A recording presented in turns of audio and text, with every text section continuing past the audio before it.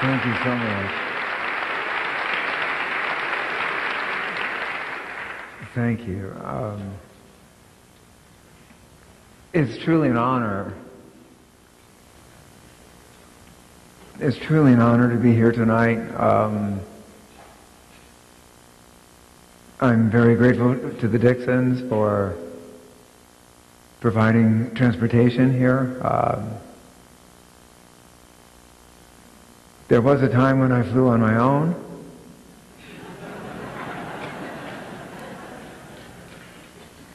But now a plane is very useful. The um, the really extraordinary thing for me uh, has been the journey over the last 10 years.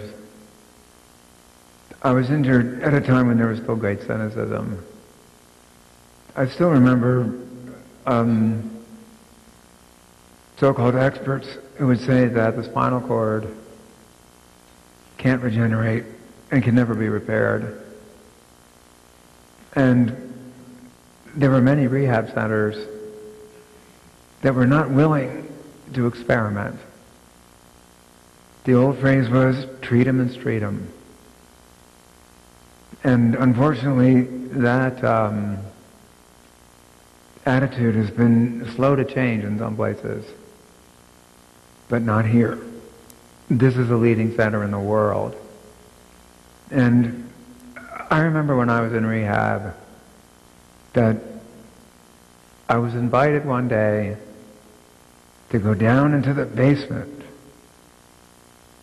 to try this radical new experimental piece of equipment called an FES bike. This is a bike that you are put on and electrodes are placed on your thighs and uh, calves and you can pedal a bicycle. It was not approved by the FDA and the Kessler Rehabilitation Center Research Fund uh, paid for its development there, but it wasn't even being used over the patient population. Only certain people were allowed to try it. I guess there was some risk of, um, they felt that there would be a risk of injury or that uh, insurance wouldn't cover the cost of the time of physical therapists using it. That was the, that was really the dark ages and it was only 10 years ago.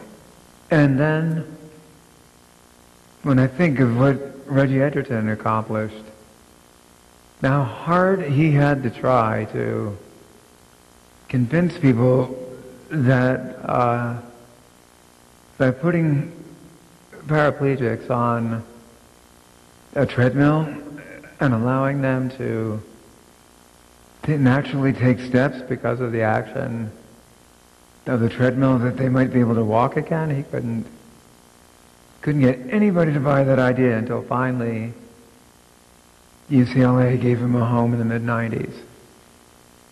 And as of today, more than 500 people have gotten out of their wheelchairs because of that technology.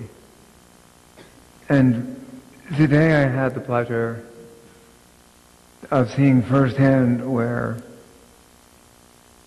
one of our grant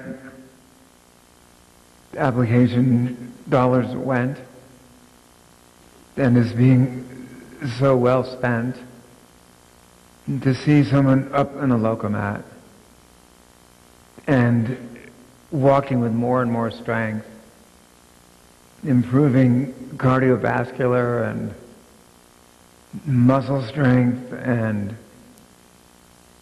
maintaining bone density, all those things that were such an issue and such a struggle when I was injured just less than 10 years ago. And I feel so uh, you know, it gets, it gets lonely sometimes to talk about, come on, let's be more progressive. Come on, let's take reasonable risks. Come on, let's try an idea. Let's be safe, but let's be bold at the same time. And It's amazing how much resistance there is to new ways of doing things. I see that as I travel all around the country. But there's a saying about Chicago, and I'm sure it applies to all of Illinois as well, but that when the people in Chicago want to do something, they just simply get it done. So when I just realized today that you're trying to raise $50 million, ah, you'll do it. Not a problem. It's going to happen. Mm-hmm.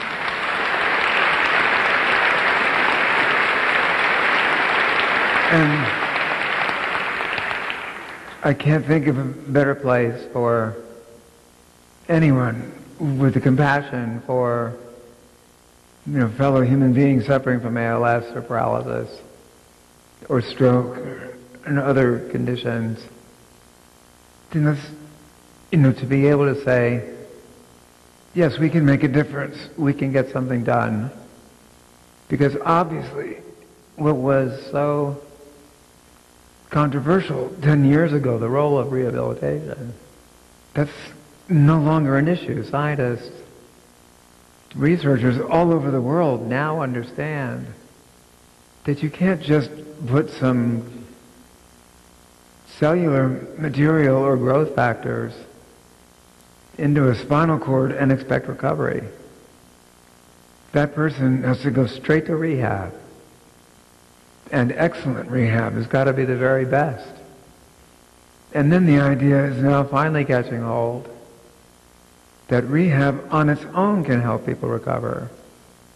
Finally, I met Molly today. Molly, who graduated from the Lokomat program. To sit next to her was just extraordinary. It just gives me so much hope and gives me so much pride that RIC and CRPF, our partners, are working together the clinical trials network's going to be a big success. We will do everything we can to keep funding projects here as we've been doing since 1992. It is an honor to meet everyone face to face. Those I haven't met, I uh, am connecting with you in spirit. Um, to meet the legendary Dr. Betts in person was absolutely awe-inspiring to me.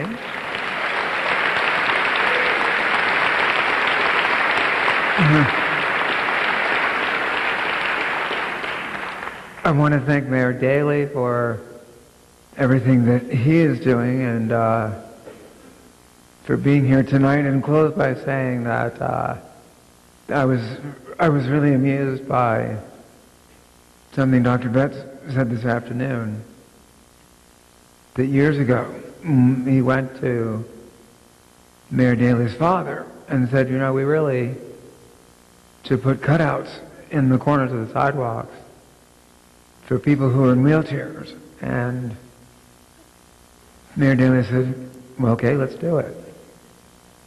And Dr. Betts said, well, what do you mean? because um, usually don't you have to form a commission or study or, you know, go around and measure everything and do a, you know, traffic impact study and this and, you know. No, you just do it. And thank you for all that. Thank you. Thank you very much. Thank you and congratulations happy birthday, and uh, here's to the next 50 years of continued excellence. It's been an honor to spend this time with you. Thank you.